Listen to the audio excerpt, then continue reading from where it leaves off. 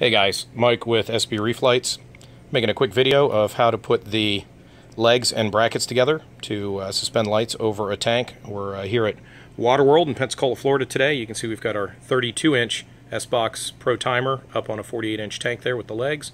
And I'm actually going to tank one of the Elite models, the ramping, and show you uh, how to put the legs together and get that suspended. And uh, in the next video, I'll show how to program the Elite as well.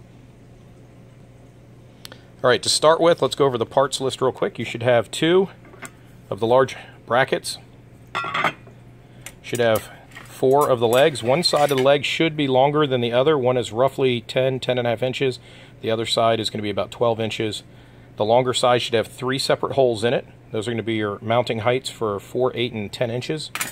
And the other side will have just one, uh, excuse me, two holes, and that'll be for tightening it down to the actual unit itself. You've got four of these adjuster knobs. You've got the feet for the adjuster knobs. You've got the screws that hold the feet to the adjuster knobs. And then the small screws are to attach the brackets to the legs. And the longer screws are to tighten down the legs into the actual body channel up here.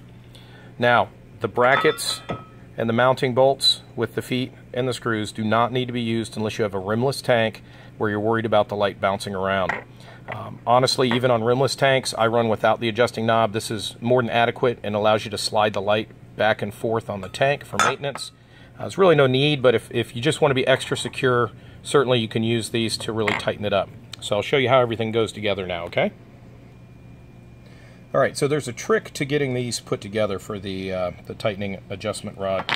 Um, first of all, the small screw is actually going to screw into the end like this, and that's going to hold the foot. The foot should be able to spin freely.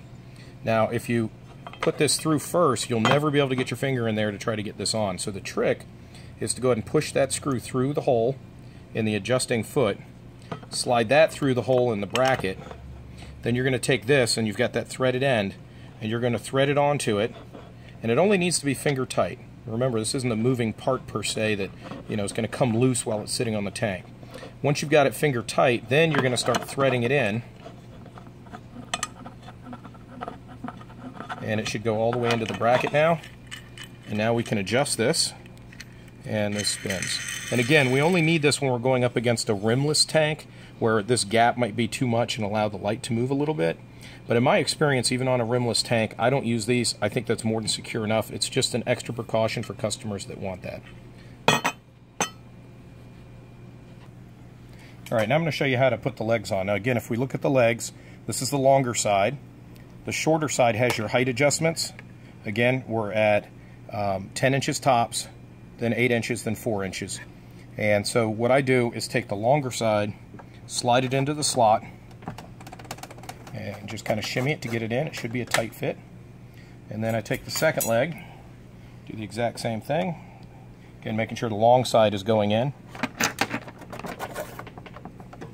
All right, now once I've got both of these in, now I'm going to take the mounting bracket and simply slide it over. And you got to play with it a little bit because if the legs aren't perfectly straight, it won't let it go through. And then again, short screws. And so at this point, all I have to do is bring this up.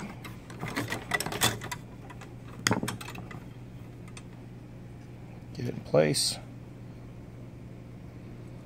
start the first screw, and I'm going for max height on this particular one, and then tighten it up. And these don't have to be cranked down at all. Um, just go them in until they're just finger snug. And that's it. And we take the other one.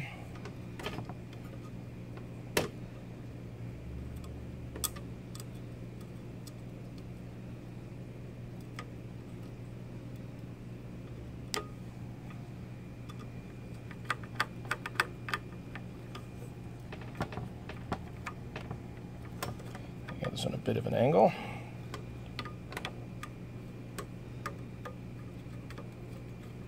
There we go. Just want to make sure you don't cross thread them.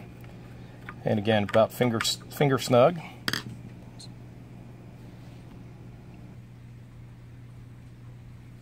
All right, so what we've done now is I've got the brackets on the bottom. The, the legs are still loose inside, and that'll allow you to pull them in and out to fit the tank. So I've put it on the tank, now I'm going to tighten it down. So if we get in a little closer, I'll show you.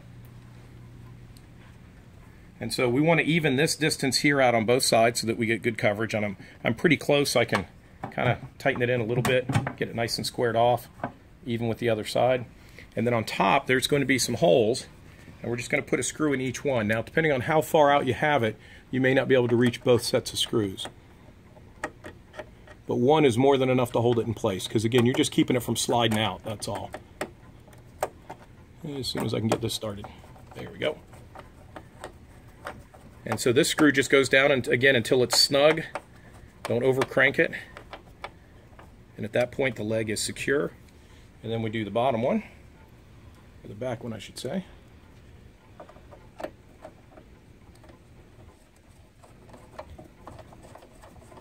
And then once you're happy, you're good. Now, if I've got this a little bit uh, off center, all I have to do is loosen these two screws just a tiny bit, and then I can play with it and pull the legs in and out until I get it exactly where I want. And I'll just repeat on the other side. So again, that's it. We've now got it set up. And notice this is on a rimless tank. I didn't bother using the other control uh, or adjusting knobs. And it's fitting just fine. It's secure. The light's not going anywhere.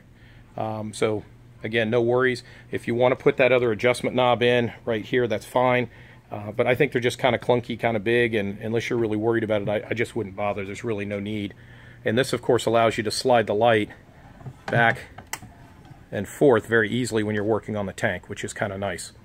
So again, that's it. Uh, Mike with SB Reef Lights, how to put on the mounting legs. This is the same for all the models, and I appreciate you watching.